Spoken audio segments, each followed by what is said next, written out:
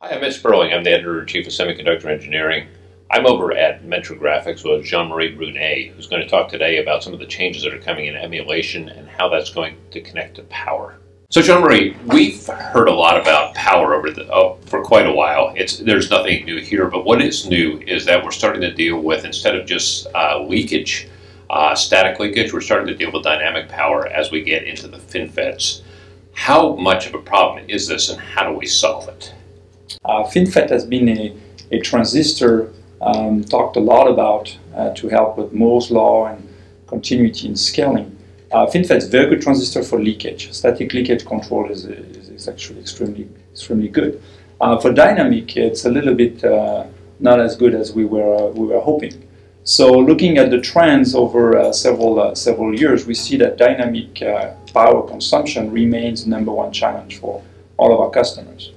Um, so what we have seen on the on the marketplace um, is is a, a trend, um, and this this trend or that shift is coming from a, a, usage shift of a lot of the computer um, devices or, or personal devices uh, to a different uh, uh, usage. Um, and um, so if you look at a cell phone versus a tab or uh, other uh, devices like this, uh, the usage is a little bit different depending on who, who you're talking to within your within your family or uh, or within the food chain. Uh, certain use that for games, others use that for, for email, others use that for applications such as fa Facebook and so on. But the usage is a little bit different. Uh, however, the chips underneath um, that uh, hardware structure are very similar. So you need to be able to verify that uh, that chip behavior and power consumption is, is under control throughout that large spectrum of uh, different usage and utilization. Why don't you draw this out for us? So okay. let me uh, try to uh, go through a pictorial representation of what we are talking about. Um, so think about a situation where you, um, due to that usage shift that uh, we were talking about, you, you have the need to boot an operating system and run a live application. To do this, we're talking about hundreds, more than hundreds of millions of cycles. So x-axis, you'll have cycles of, of uh, simulation or emulation. And on the y-axis, you're talking about uh, switching, switching activity. Um, and now we're talking about those many, uh, you know, huge amount of cycles. You look at an activity plot what is happening. So probably within the chip, you know, when you boot the OS, you have a real good spike of peak currents, then start to run some application, and you, you have a very good description of real live application on what is going on within the chip. So what we are dumping here and looking at is every net within your design through hundreds of millions of cycles where you put an operating system, Linux or Android, and you run, you run an application. This is real, real live application. This is how the design is going to be actually effectively be used. Now you see that you have those switching activities. So obviously when you have huge spike of switching activity, this is where power is important because this is you know, a lot of nets are, are, are, toggling and that's consuming dynamic power. So you want to pay attention to, you know, pretty much a, a, kind of a thresholding approach saying anything higher than that value, I know I gotta, I gotta look at those areas. So they are red. You know, this is, this is problematic. I need to know what's happening. So this is, this is what we are actually able to do. You, you uh, load through the um, Veloce platform your entire design, put an operating system, and, and run some live application. And you have a very accurate uh, and uh, good representation of where activities are taking place. Now you know that on those areas, uh, if you link uh, to a power analysis tool, you can compute a power number, and that power number will be a real good representation of what the chip will be consuming when you actually utilize it. And this varies greatly depending upon whether you're running a graphics application or a data application, for example, that might just be work, word processing, right? That is correct. But the uh, what is consistent among those different type of applications is at some point you're going to boot an OS. So that, that stage will, depending on the OS you're going to boot, but you'll have that stage of you know what is happening within the software and the firmware to actually have the OS being ready. And after that, you invoke your application. It can be different behavior. But that sequence here at the beginning is extremely important to capture. The problem with current methodology is a functional test bench usually captured, you know, a small, a small portion of what is happening. What is happening. So maybe your functional test bench, you know, is giving you uh, in terms of switching activity, only this. This is very small because it's usually based on simulation, so you don't have hundreds of millions of cycles. But what you have here is you have a representation that is actually completely different than what reality is, is going to be. And that's where the problem comes from.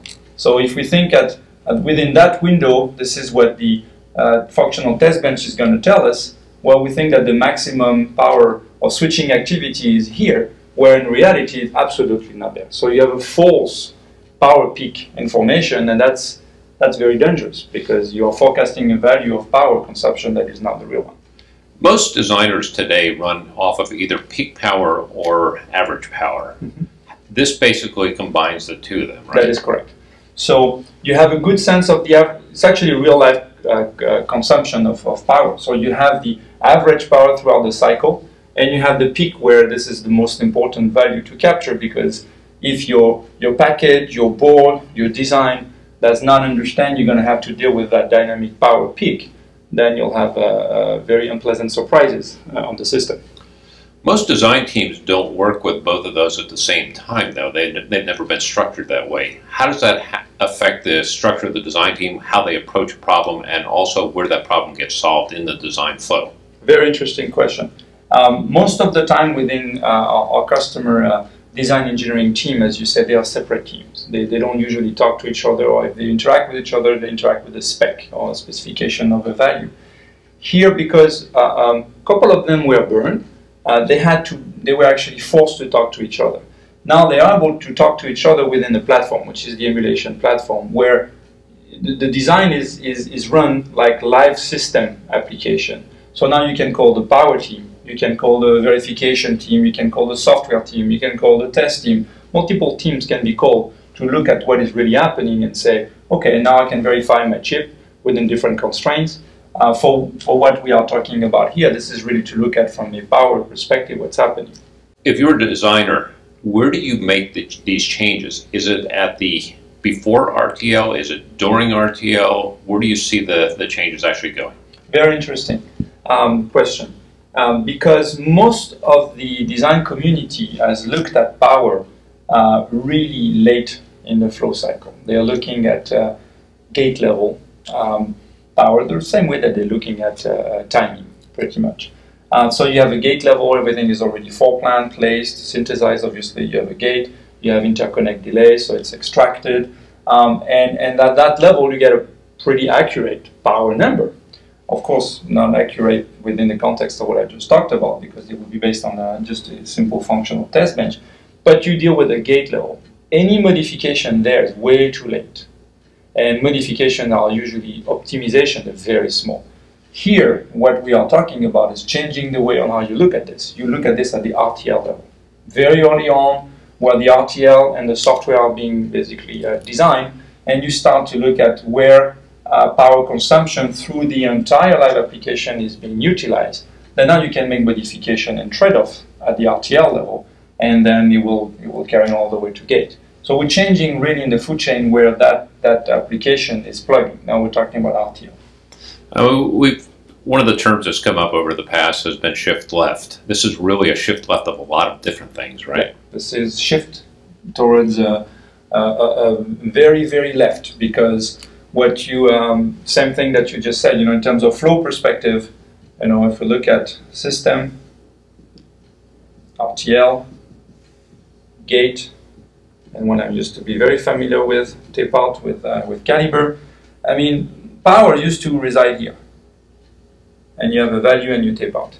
Now we're talking about moving it here and all the way to here. So this is what we're talking about with shift left. Physically it's going towards the left.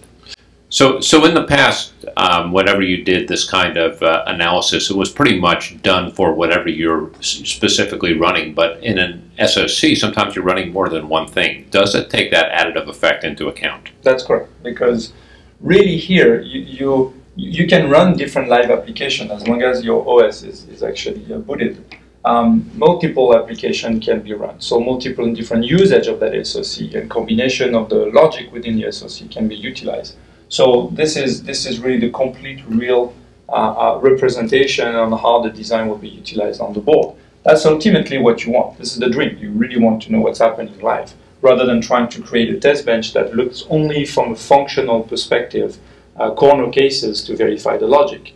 Those corner cases may be really good from a logical perspective, but they might not be a real representation of how the design will be utilized. Does this also take into account things like how much margin has been built in and the effectiveness of that margining? Uh, because in the past, if you built in margin, it would safeguard your design. But uh, as you start getting down to 14, 16 nanometers, 10 nanometers, sometimes now that eats up power, it uh, uh, causes other effects that you didn't plan on. Does that show up here as well? So the margin effect is not really directly, uh, uh, you know, does not directly correlate to this. Uh, however, it is part of the fact that through this entire live application, um, from from a power perspective, you, you need to see if you if if the design is reactive within the margin and the guard banding that you were you were putting into your design. Um, but the, the margins and so on is really is really more related to specification from a timing perspective, um, a little bit less from a power perspective. From power is, is I will say the methodology for power, as we have seen with UPF, as we have seen with power analysis tool, is changing towards this is a much bigger concern. The move to FinFET uh, actually highlighted that dynamic power had to be looked at much early on, so shift left again uh, towards architectural decisions. So in a way, we're, we are trying to remove a lot uh, uh, that margin and, and, and gain as much as possible early on a sense of where real uh, power for that for that matter here consumption is taking place, uh, so that we remove that margin. Now you don't have margin. This is really what's happening. One other piece that comes into play here is uh, third-party IP, which has become uh, much more of a uh, regular feature inside of complex SoCs because nobody has time to develop it all. Does that show up here as well if you say, okay, I want to use this IP versus this IP? Here's what the power consumption is going to be. Absolutely. You can even think of uh, one RTL going through that cycle of uh, boot up uh, can behave differently based on what the IP you plug in your RTL or not.